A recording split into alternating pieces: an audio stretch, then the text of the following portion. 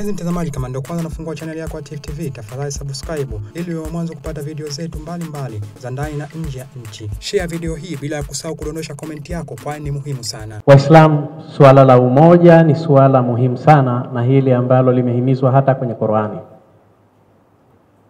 watasimu bihablillahi jamia wala tafarraku. Tuendelee kuishi kwa umoja wetu, mshikamano wetu, na wala tusifarikiane. Ndugu zangu Waislamu na waumini ambao tuko hapa, maendeleo haya ambayo tunaendelea kuyapata ndani ya nchi yetu yanatokana na utulivu wetu huu ambao Waislamu na wasiokuwa Waislamu kwa maana ya wananchi wengine wote wanaendelea kuweka mazingira mazuri ya utulivu na amani ndani ya nchi yetu.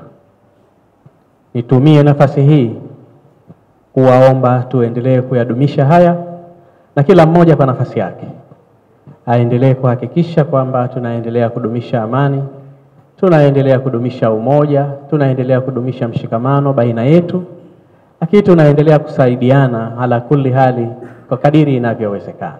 Vijana wanahitaji kusimamiwa kupata taaluma, pate elimu, elimu zote, ili waweze kufahamu kile ambacho wanakifanya. Ni vigumu kumshawishi mtu ambaye anafahamu ubaya wa jambo hili akakufuata, lakini ukimshawishi mtu ambaye hafahamu, unaweza ukamshawishi vibaya, pengine akawa na dhana ya kufuata. Lakini kwa sababu ya taaluma ambayo tutakuwa tumewapa vijana wetu katika maeneo mbalimbali, taaluma za kidini, lakini taaluma na za kitaifa, kwa maana za kiuchumi kijamii, kisiasa, kimaendeleo, watafahamu kujua tunapaswa kufanya jambo gani na nini, kama mwananchi, kama kijana anapaswa kufanya ndani ya nchi yake. Hili ni jambo kubwa sana. Nchi inakuwa kwa maana ya maendeleo yanatanuka kila siku, lakini watendaji sasa ni hawa vijana tunaokwenda kuwaandaa wa kweli ni yule ambaye watakaosalimika Waislamu wenziwe kutokana na ulimi wake na vile vile kutokana na mikono yake. Lakini jambo la kwanza lililotajwa, tuliambiwa ulimi.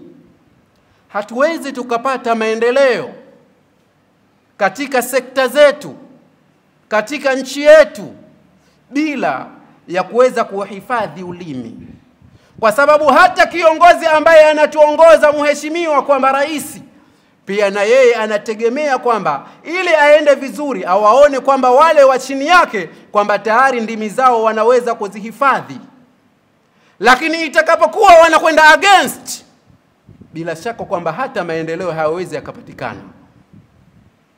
Sasa hivyo, ndugu zangu Waislamu, ni lazima kwamba inna akthara khataya ibni adam min lisanihi, kwamba makosa yote ambayo anayafanya mwanadamu yanatokana na ulimi wake, ghiba, annamima na mengineyo ambayo wewe utakayokuwa unafahamu.